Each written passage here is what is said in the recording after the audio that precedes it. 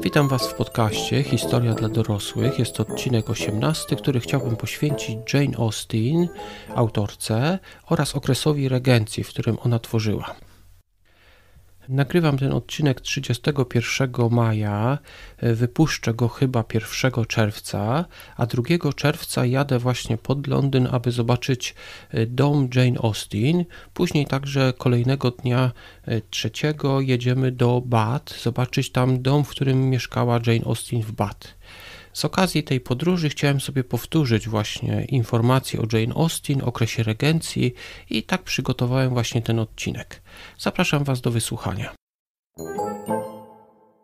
Jane Austen jest jedną z najbardziej znanych pisarek na świecie. Jej sława przyćmiła innych wielkich jej epoki. W czasach georgiańskich uważano Waltera Scotta za spadkobiercę Szekspira. Czas jednak pokazał, że najważniejszym pisarzem tego okresu była właśnie Jane Austen. W tej audycji chciałbym przybliżyć czasy georgiańskie, samą Jane Austen oraz jej powieści. Najpierw jednak wyjaśnijmy kilka terminów. W Anglii rządzili Stuartowie. Ponieważ jednak jeden z ostatnich królów tej dynastii był katolikiem, Anglicy wygnali go z kraju.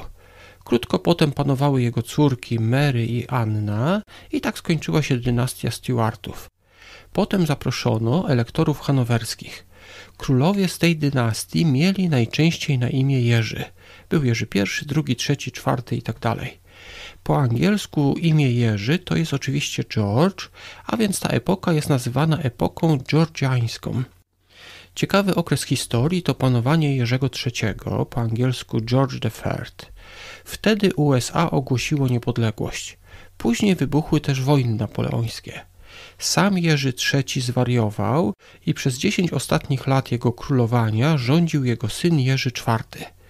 Ten okres epoki georgiańskiej nazywa się okresem regencji. To 10 lat od 1811 do 1820. Jerzy IV w zasadzie nie był wtedy jeszcze królem Jerzym IV, ale był księciem Walii oraz księciem regentem. Właśnie w okresie tych 10 lat wydano sześć powieści Jane Austen i z tego powodu nazywana jest ona autorką okresu regencji. Co się wydarzyło w tym okresie, w okresie regencji? Omówię pokrótce teraz te 10 lat. Rok 1811.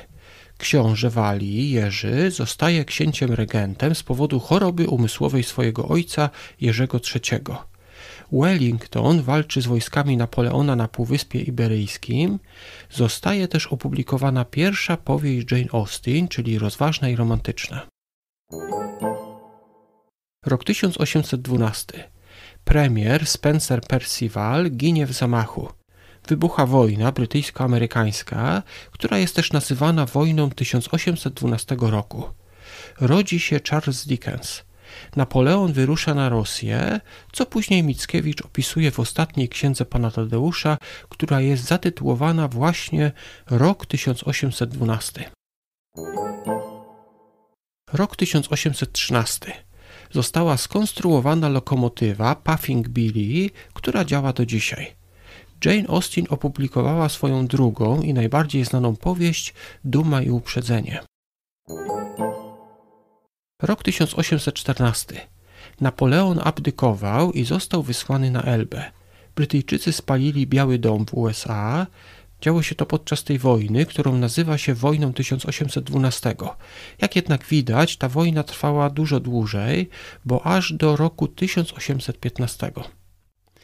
Ten rok 1814 to także moment, kiedy na ulicach Londynu zapłonęły latarnie gazowe, a na rzece Tamizie odbył się ostatni jarmark. Rzeka Tamiza zamarzała i ludzie zimą organizowali sobie tam taki zimowy jarmark. Jane Austen wydała wtedy trzecią powieść Mansfield Park. Rok 1815 to oczywiście rok stu dni Napoleona, czyli jego ucieczki z Elby oraz późniejszej przegranej pod Waterloo. Napoleona wysłano na świętą Helenę. Weszły też wtedy w życie w 1815 ustawy zbożowe, a po angielsku Corn Laws. Ustawy te przegłosowali arystokraci i wielcy właściciele ziemscy. A Jane Austen wydała wtedy czwartą swoją powieść pod tytułem Emma. Rok 1816 to tak zwany rok bez lata. Wybuchł wtedy wulkan na Indonezji, a pył w atmosferze sprawił, że na całym świecie spadła temperatura i tego roku nie było właśnie lata. Właśnie wtedy Mary Shelley napisała Frankensteina. Rok 1817. W wieku 41 lat umarła Jane Austen. Rok 1818. Opublikowano Frankensteina. Urodziła się Emily Bronte. Pośmiertnie wydano piątą i szóstą powieść Jane Austen, czyli Opactwo Northanger oraz Perswazję. Rok 1819 Walter Scott opublikował powieść Ivanhoe. Urodziła się późniejsza królowa Wiktoria. W tym roku 1819 też pierwszy statek parowy przepłynął Atlantyk. Brytyjczycy założyli też w tym roku miasto port Singapur. Rok 1820 umiera Jerzy III, a książę regent zostaje królem Jerzym IV. Przez parlament przechodzi ustawa dająca królowi prawo do rozwodu z jego żoną Karoliną. Jerzy IV zdradzał swoją żonę, a ona zdradzała jego. Właśnie to król chciał wykorzystać do rozwodu. Dostał pozwolenie od parlamentu, była ona jednak bardziej popularna wśród ludzi. I z tego powodu, pomimo że Jerzy IV dostał zgodę od parlamentu, nie rozwiódł się z nią. Nie zaprosił jej jednak na koronację, która odbyła się rok później. W tym roku 1820 powstało też Królewskie Towarzystwo Astronomiczne i wykopano, odkryto ponownie Wenus z Milo. Teraz chciałbym pokrótce omówić powieści Jane Austen i ich osadzenie w historii. Jane Austen zaczęła pisać dość wcześnie. Jej pierwsze trzy powieści, czyli Rozważna i Romantyczna, Duma i Uprzedzenie oraz Opactwo Nordhanger, napisała jeszcze w latach 1790. My znamy je jednak z wersji opublikowanych w czasach regencji, czyli około 20 lat później. Niewiele wiemy o tych wcześniejszych wersjach ale istnieje na przykład pogląd, że Duma i Uprzedzenie początkowo było powieścią epistolarną, czyli skonstruowaną w formie listów. Austin napisała także inną swoją powieść, Lady Susan, właśnie w tej formie, w formie listów. W wersji Dumy i Uprzedzenia, którą my znamy, spora część to listy, na przykład list, który napisał Darcy do Lizzie. Pierwsze dwie powieści, rozważna i romantyczna oraz duma i uprzedzenie, skupiają się na sytuacji kobiet z wyższych klas. Miały one komfortowe życie, tak długo jak żył ich ojciec. Po jego śmierci często zostawały z niczym. Majątek przechodził najczęściej na najstarszego męskiego potomka rodu, czasami był to na przykład daleki kuzyn, tak jak William Collins z Dumy i Uprzedzenia. Kobieta musiała dobrze wyjść za mąż, aby zaopiekować się swoją matką oraz rodzeństwem. A stare panny często pozostawały na utrzymaniu swoich braci, którzy mieli majątek albo mogli pracować. Praca dla kobiet była bardzo ograniczona. Sama Jane Austen pisała dużo i była zachęcana do tego przez swojego ojca, ale przez długi czas nic nie zarabiała. Za wydanie rozważnej romantycznej Austin musiała zapłacić 460 funtów. To pierwsze wydanie to było 750 egzemplarzy. Sprzedano je w ciągu dwóch lat i Austin zarobiła, czyli zwróciło jej się to, co wydała, te 460 i dodatkowo zarobiła jeszcze 140 funtów. Ta książka została wydana w trzech tomach, a na okładce rozważnej romantycznej podano, że autorem jest pewna pani, po angielsku A Lady. Drugą książkę, czyli Dumę i Uprzedzenie, opublikowano w 1813 roku. Na okładce napisano, że powieść napisała autorka rozważnej romantycznej. Tym razem Austin nie bawiła się w płacenie za wydanie, tylko zażądała od wydawcy 150 funtów za prawa do wydawania tej książki. Dostała tylko 110. Dlaczego tak zrobiła? Za pierwszą swoją książkę była odpowiedzialna i gdyby się nie sprzedała, Austin musiałaby za to zapłacić.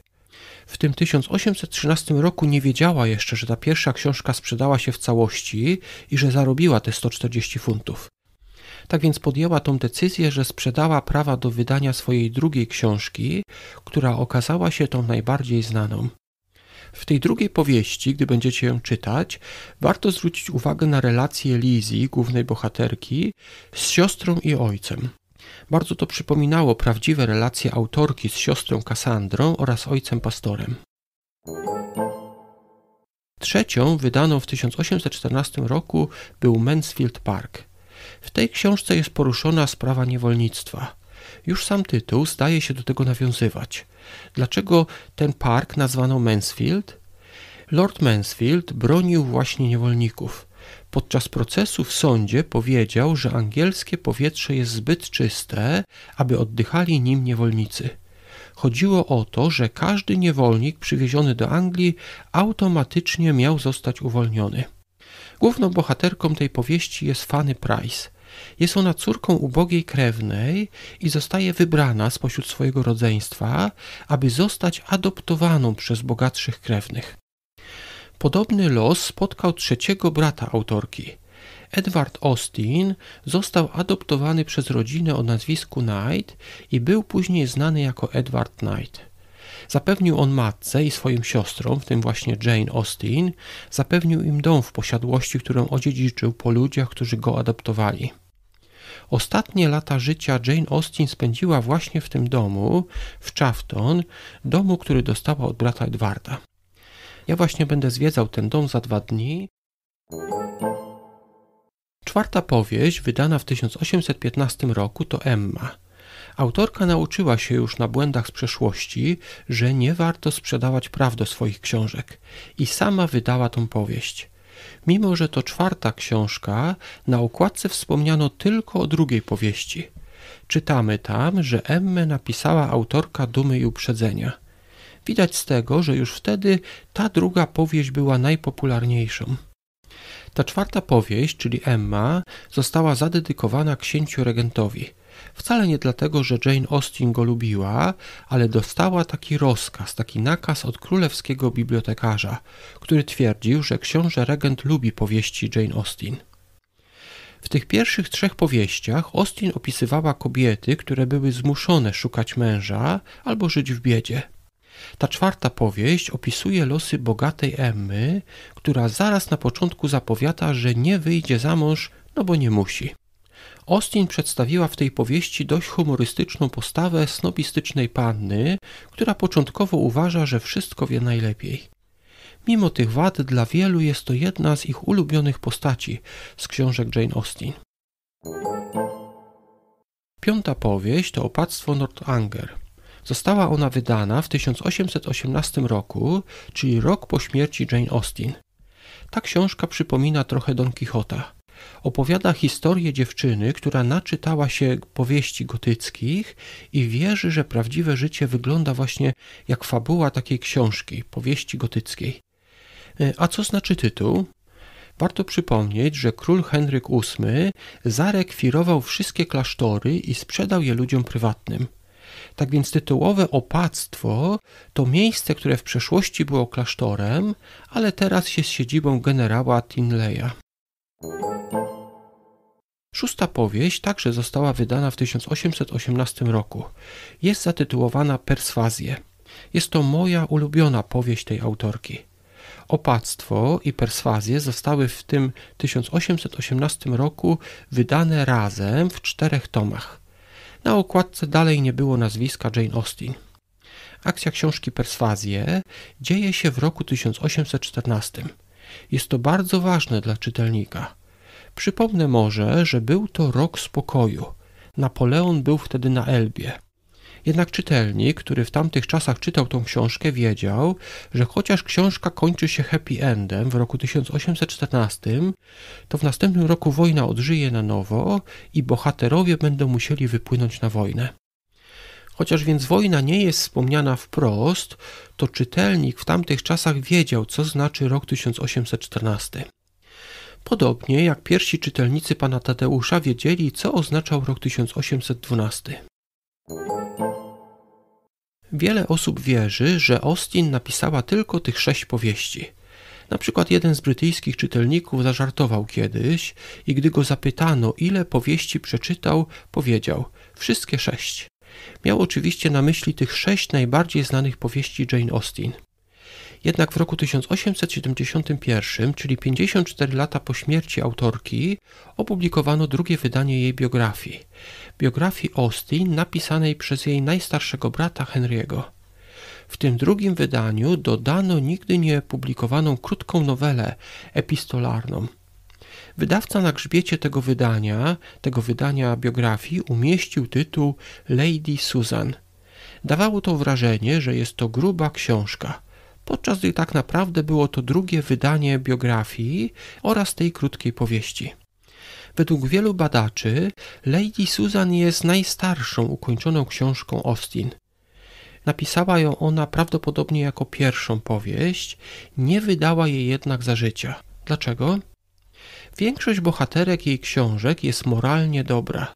Mają one oczywiście swoje wady, ale są z gruntu dobre, są moralnie dobre. Jednak Lady Susan Vernon jest moralnie zła. Jest to kobieta, która wykorzystuje mężczyzn i, krótko mówiąc, moralnie prowadzi się źle. Być może właśnie z tego powodu Austin nie próbowała nawet wydawać tej powieści w tamtym zdominowanym przez płeć brzydką świecie. Główna bohaterka tej powieści wykorzystuje swój urok i uwodzi mężczyzn. Nie wydaje się jednak, aby Austin, autorka, aby potępiała w swojej powieści takie zachowanie. Być może chciała w ten sposób pokazać, że kobieta, która chciała być w tamtych czasach wolna, musiała się posuwać do takich rzeczy. Warto przeczytać tę powieść, tym bardziej, że jest bardzo krótka. Jane Austen zostawiła także dwie niedokończone opowieści. Około roku 1804 pisała powieść Watsonowie. Wydaje się, że to była taka wprawka do napisania późniejszych powieści. Na przykład można tam znaleźć postać bardzo podobną do Lizzie, która się pojawia później w powieści Duma i Uprzedzenie. Drugą niedokończoną powieścią jest Saddington. Jest to powieść, którą Austin pisała będąc już chora. Dopóki miała siły, pisała. Książka ta powstała pod roboczym tytułem Bracia, ale dzisiaj jest znana właśnie jako Saddington. Niektórzy mówią, że tytuł nawiązuje do miasta z piasku, bo Saddington brzmi troszeczkę jak Sandy Town. Jest to historia inwestycji w nadmorskie miasto, takie uzdrowisko. Wydaje się, że autorka chciała nawiązać do przypowieści z Ewangelii o budowaniu na skale i budowaniu na piasku. Historia rozpoczyna się od wypadku. Mężczyzna prowadzi pojazd z niebezpieczną prędkością. Być może miała to być przepowiednia tego, co się stanie z jego inwestycją miasta budowanego na piasku. Niestety powieść jest nieukończona, tak więc trudno powiedzieć. Co też ciekawe, w tej powieści pojawia się postać mulatki, kobiety, która w jednej czwartej jest czarna. Jest ona chora, ale jednocześnie bardzo bogata. Być może dalej w powieści ktoś by się z nią ożenił dla jej majątku. Można się zastanawiać, jakby się rozwinęła historia, niestety nie dowiemy się tego. Oczywiście wielu autorów próbowało dopisać kontynuację tej powieści i może wspomnę, że w roku 2021 i w tym, którym teraz nagrywam, czyli 2022, powstają dwa sezony serialu, w którym także przedstawiono, jak ta historia mogła się skończyć. Na koniec chciałbym powiedzieć kilka słów o rodzinie Jane Austen. Jej ojciec był pastorem w małej miejscowości Steventon.